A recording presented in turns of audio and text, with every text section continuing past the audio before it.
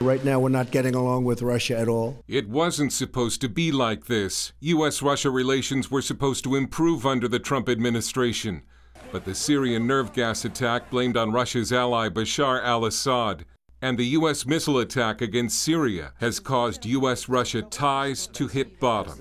The current state of U.S. Russia relations is at a low point. Russian President Vladimir Putin also said on Russian TV that the level of trust has deteriorated. This after Secretary of State Rex Tillerson faced an unusually hostile reception in Moscow. The U.S. missile strike on Syria that triggered the diplomatic crisis hit a Syrian airbase where there had been Russian military personnel.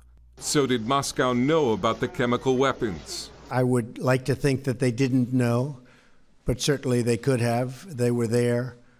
So, we'll find out. After a tense two hour closed door meeting with Putin, Tillerson then angered Russia by bluntly calling for regime change in Damascus. Our view is that the reign of the Assad family is coming to an end. But Russian Foreign Minister Sergei Lavrov, referring to Iraq, said experiments like that, which are built on an obsession with overthrowing dictators, totalitarian or authoritarian leaders, we have already seen. We know the ending of it way too well. The two sides also agreed to disagree about Ukraine, where Moscow backs rebel forces.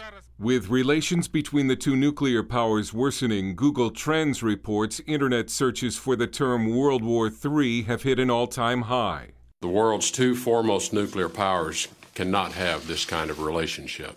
And the U.S. warned Russia that it is only isolating itself with its continued support of Assad. Dale Hurd, CBN News.